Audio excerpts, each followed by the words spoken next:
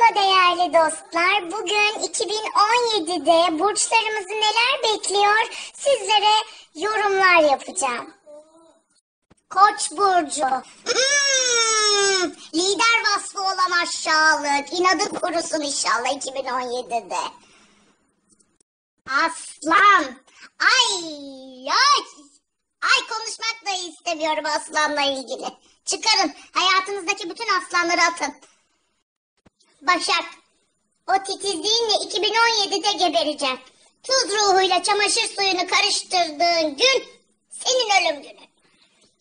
Yay. Gerim gerim gerginliğin sonun olacak. Kopu vereceksin inşallah 2017'de. Tüh. Terazi insanları tarta tarta armudun sapı üzümün çöpü diye diye tek başına geberip gideceğim. 2017'de inşallah yalnız kal. Yengeç öyle yan yan gidiyordun ya millete. Yanaşma gibi yan yan gidiyordun ya yok. Artık gözünü açtı çevrendekiler. Ne pislik olduğunu anladılar. Akrep.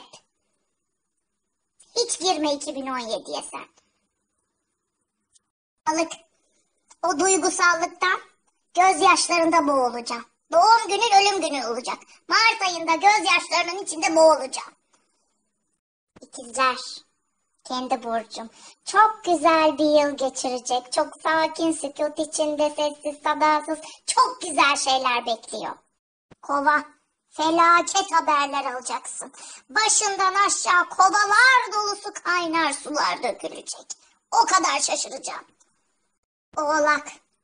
O naifliğinle herkes seni kullanıyor. Anana, babana, dayına, eşine, amcana, dostuna hiç güvenme. Etlerini yiyecekler. Boğa.